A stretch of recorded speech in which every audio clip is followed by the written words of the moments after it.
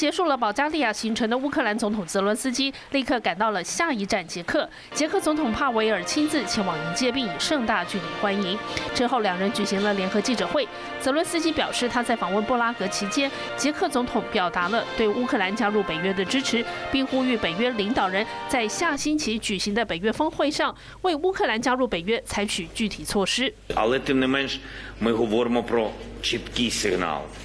якісь конкретні речі.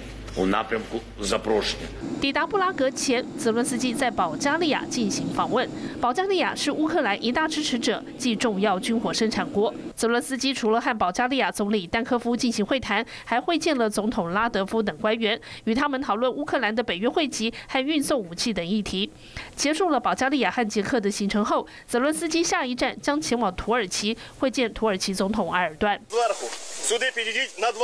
就在泽伦斯基出访之际，俄罗斯六号以导弹袭击了乌克兰西部城市利沃夫一栋公寓，造成数人死伤。至于南部的扎波罗热核电厂的危机，似乎有趋缓迹象。乌克兰国防情报总局局长布达诺夫六号接受媒体访问时表示，俄罗斯对扎波罗热核电厂发动袭击的威胁正在降低，但警告只要核电厂仍被俄军占领，袭击就可能卷土重来。国际原子能总署则表示，由于乌俄互控对方策划攻击扎波罗热核电厂，为了确保核安，IAEA 将扩大针对三号及四号反应炉主体屋顶、涡轮机厂房和冷却系统等关键区域进行查核。华日新闻综合报道。